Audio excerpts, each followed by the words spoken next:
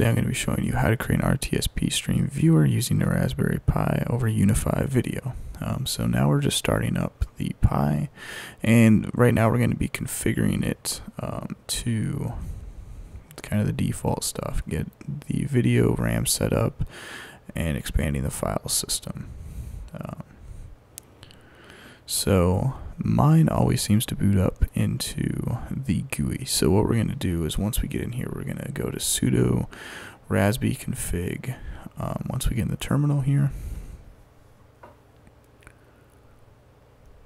Okay, so now we're internal. So we're going to go to sudo raspberry config. And I apologize for the camera movement. I have a really crappy phone mount. Um, so the first thing we're going to do is we're going to go to advanced options. And what we want to do is we want to do a memory split and do a 256. Um, this is our for our GPU. So we want as much RAM in there as possible. Next thing we're going to do is we're going to wait network. Well, we're going to do console auto login. Then we're going to do wait network at boot. And we're going to do slow boot. I've had better luck with that. Um, then we're going to expand the file system and finish. We like to reboot now? Yes. So after that, the Pi is going to reboot. It's going to come back up, and we're going to type in ifconfig. And this is going to allow us to see what IP address the Pi is on. And as you can see with my terrible camera skills, it is 192.168.1.206. So we know now that that is the IP address. So now we're going to go into Windows and open up PuTTY and type in 192, you know, same address. And now we are in PuTTY. So now that we're in PuTTY, we can type in Pi username and Raspberry for the password. So now we're in terminal and we're going to run sudo apt-get update followed by and and sudo apt-get upgrade dash y and and sudo reboot. So this is basically going to update the Pi. Then after that's done, it's going to upgrade it. It's going to answer yes to agreeing, and then it's going to reboot it. So it's a nice little one line of code. It does everything for you, and then after that's done, uh, the Pi is going to reboot, and PuTTY is going to have an error because the Pi reboot from the network. Um, so this is dramatically sped up. It will probably take close to an hour to do a full update and upgrade. So now that that's done, now we want to get in and install Screen. After we log in, we want to install Screen in uh, OMX Player.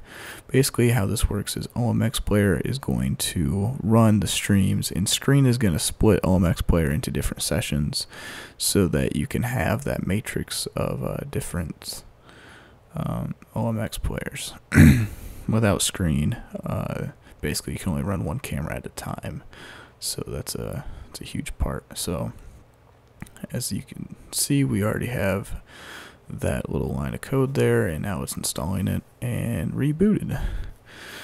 Now we're going to log back in, and now we're going to be setting a static IP for our Pi. So we're going to go to that. Again, all this is in the description down below. I'd recommend pausing the video so you can see more of um, how we're doing it. I wanted to get make this video as short as possible for people that just want to skip through this real quick and they have a general idea of what they're doing. Um, but it is a full tutorial. So basically what happens is we're going to put the static IP address in, but we're not quite done after we put the static IP address in. What I've noticed is if you if you just do this part, you will also get a DHCP address. Um, again, this IP address is going to be different um, depending on your network and your scenario that you're in, but I've set this one to 77.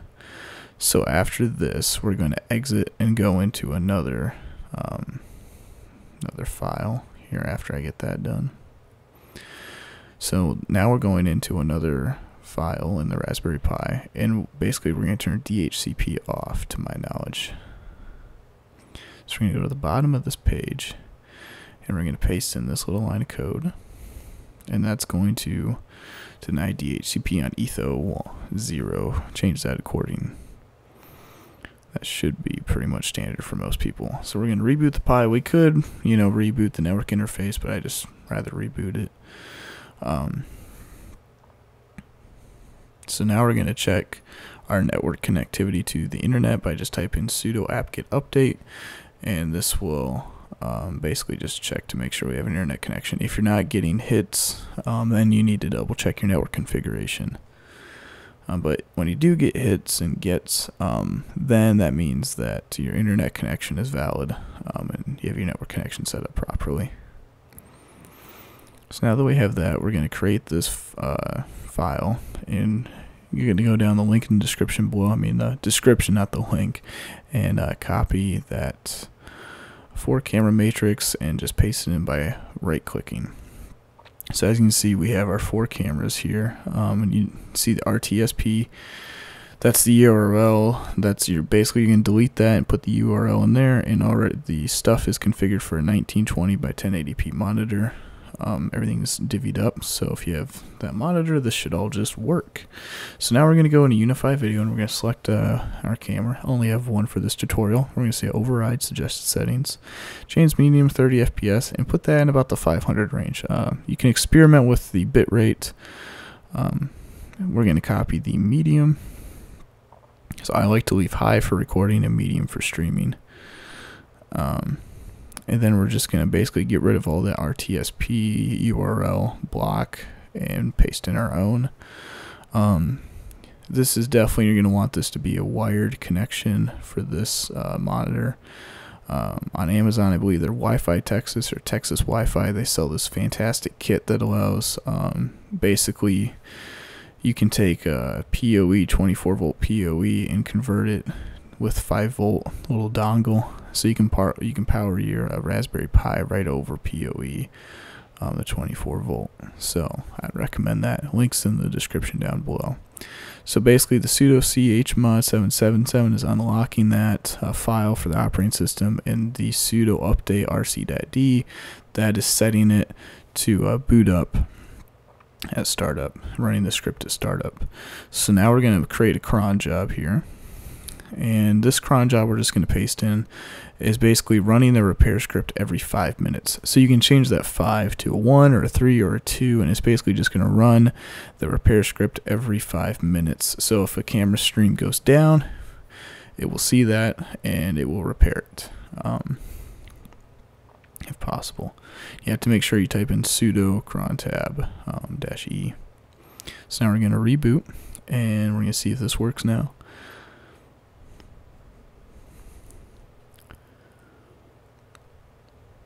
And this is real time. This is not sped up whatsoever.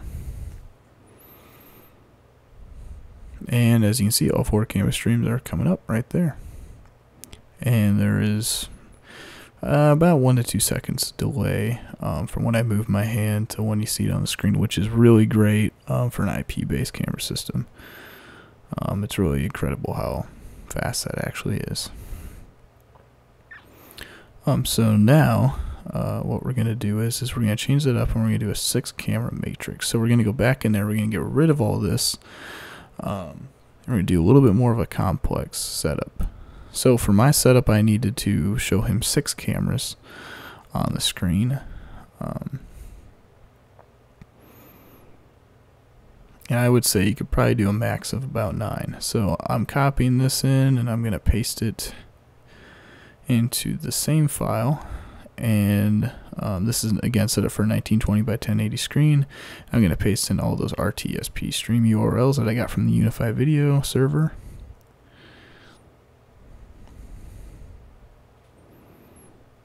And I'm going to save that. And now we're going to go into our cron tab, and we're going to get rid of that five minutes. Um, so this is a a uh, pizzeria kind of place, restaurant, and so I wanted to make sure we didn't get monitor burning. So how I set it up was is the first line of code stops the uh, script. It stops all the camera feeds. And then we're going to turn off the TV um, at 1202 and then we're going to turn the TV back on uh, or the monitor at 6 o'clock in the morning. And then after the cameras turn back on, 602, we're going to start the camera script to show all the feeds. Um, and then what I have it do is that uh, second to last line of code right there is basically rebooting it once a week at 6 o'clock in the morning. Um, that's just for any inconsistencies or if something's not working, a just nice fresh reboot. Um, I know this can cause corruption over time, but um, it seems to be working all right.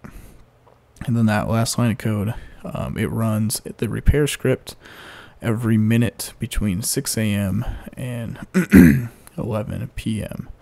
Um, you want it set up that way so that you're not running the repair script when the monitor's off because um, you can have problems with that. But you have to make sure that you're stopping the cameras and then turning the monitor off. I was running into problems if I just tried turning the monitor off. Um, so you have to make sure the cameras are stopped. Monitor goes off, then monitor can come back on, and this has worked really well for me. If your monitor is not turning off, then it doesn't support that over HDMI, and unfortunately, you're gonna have to find a different monitor or just not turn it off. So now we're gonna watch this get booted up. And I'm going to see if it works. Um, again, this is real time. Um, I haven't sped this video up whatsoever. So you can see now all the videos come up and they are working very well. There's no delay and then of course you can change out whatever video you want to go to each place, each camera matrix.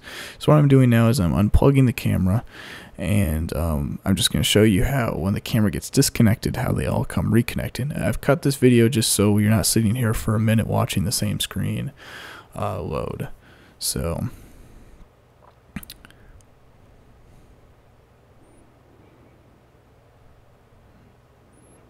and now the cameras are coming back on. So, and that's about it. So that's how you do a four camera or six camera matrix with a Raspberry Pi and UniFi video.